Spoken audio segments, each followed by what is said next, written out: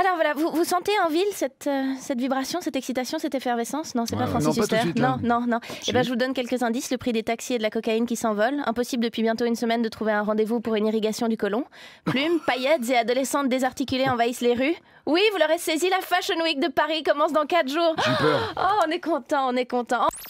Par exemple, quand notre voisin, Monsieur Ouattara, a fait la cour à ma cousine Evelyne, il lui a offert le pain grotto.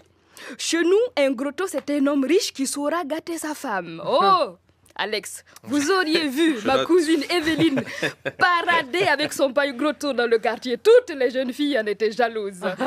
Après les fiançailles, elle portait son pain Ton pied, mon pied, qui représente un pied d'homme à côté d'un pied de femme, pour indiquer à Monsieur Ouattara que dorénavant, il irait où elle irait.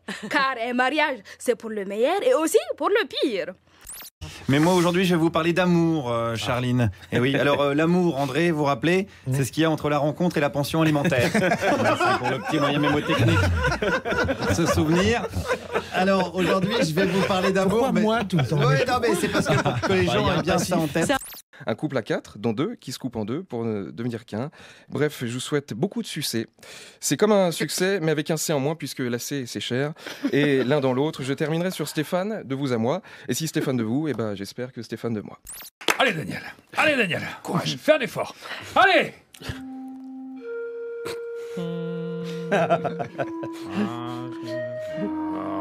Ah putain, j'y arrive pas Désolé, j'arrive pas à méditer, j'y arrive pas, j'y arrive pas, on peut en faire un drame non plus. Hein. Les gens sont tellement vénères à Paris, bientôt c'est les pitbulls qui vont payer pour aller voir des combats de Parisiens. Vous êtes prêt à délivrer au monde entier un message humaniste? Of course, I fuck the Corée du Nord. Alors oui, c'est une certaine conception des droits de l'homme. Les droits de qui? Ok, la Corée du Nord, c'est réglé. What about Iran? I fuck Hassan Rouhani. Alors oui, oui, l'idée générale y est, mais si vous pouviez y ajouter une pointe de diplomatie.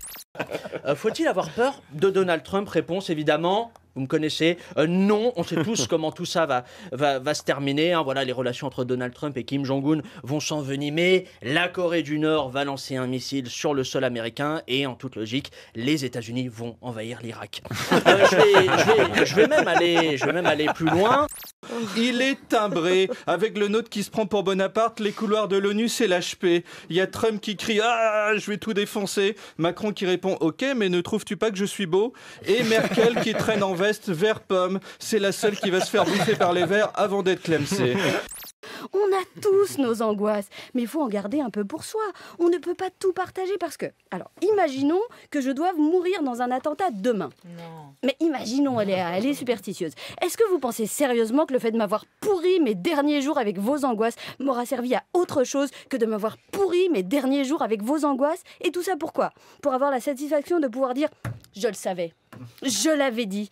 Et bah tu sais quoi, ça n'a rien changé. Alors, avec ce genre d'article, on ne fait que une seule chose servir la soupe, donner de l'inspiration et suggérer des idées à des abrutis qui se prennent pour des terroristes quand ils sont à court d'imagination et surtout en mal de publicité.